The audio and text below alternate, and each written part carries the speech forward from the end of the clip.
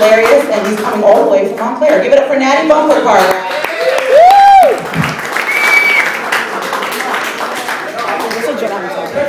Hi everybody, how's it going? I'm Natty Bumpercar. Wait a something's different here.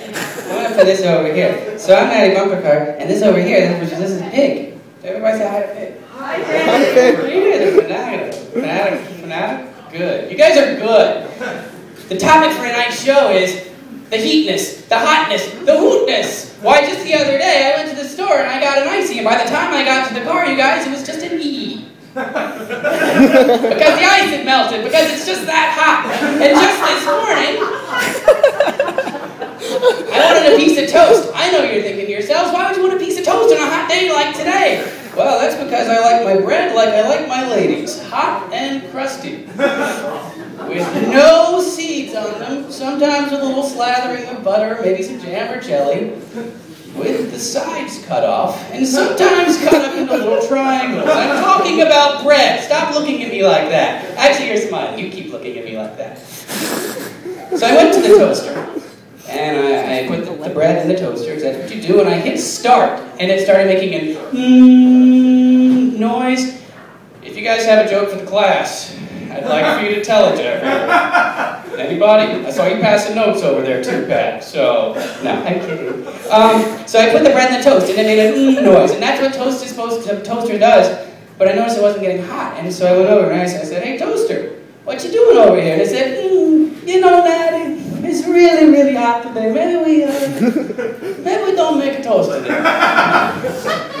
maybe we take a little day off, take a little break, a little vacation, you know? And I was like, you know what we're going to do? You're going to give me my bread back, and I'm going to find somewhere else to make toast. And what I did is real quick, because I'm slick like this, I slipped it into the other side, and I hit start real quick to think I confuse it. And it was just like, hey, man, why'd you go and put this bread in me, man, like this, huh?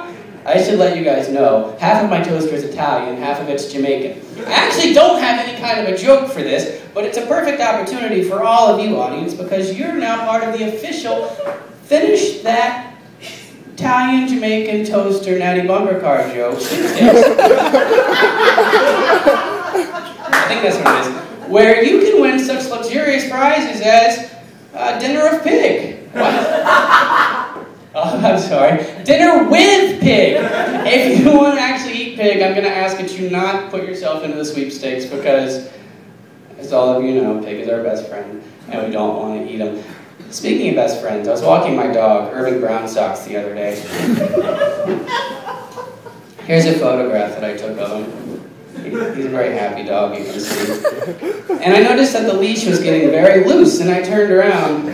You're laughing, but it was the most horrible thing I've ever seen. My best furry friend had melted into these little... It's so hot. Did I mention that it's hot? He melted into these little black blobs of fur and goop.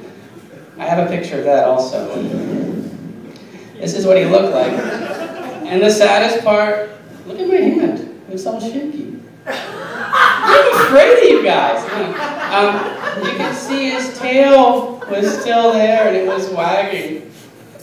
And I knew at that point that it was all going to be okay. And so I turned and I started scooping him up, because that's what you do when your friend melts. and then I turned and I noticed there was a set of stairs.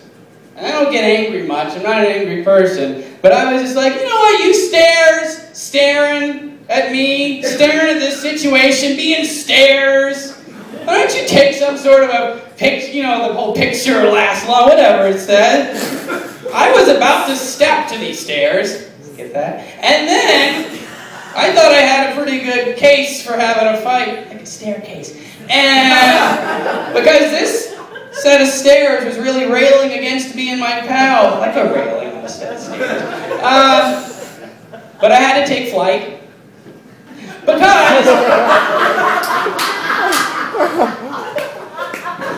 because I had, and this is kind of creepy, I had goopy balls of dogs slipping out of my hands because he had melted. I don't know if I talked to you about that part. This is that. And so we got back to headquarters, Socks and I, and they put him back together. His, his snout was a little askew. His, uh, his ears were a little asunder. And um, that's your water cooler joke for tomorrow. and then he said asunder. No, um, I think I'm in a contest about a pig. No, um, and so I put them back together, and I was trying to bring a little levity to the situation because he had a real hangdog look about him. And um, I said, gee, Socks, you know, you really were a hot dog today. Because I like wordplay. Who doesn't?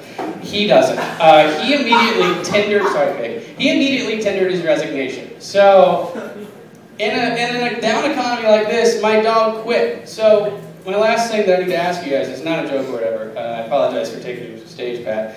If any of you guys know any unemployed dogs, uh, dogs looking for work, looking for a different career opportunity, we offer benefits, there's time. I don't want to get into all that stuff right now on stage, but uh, we are hiring. So I, I'm Natty Bumpercar, this is Pig. If you guys find me after the show, I'll give you a sticker.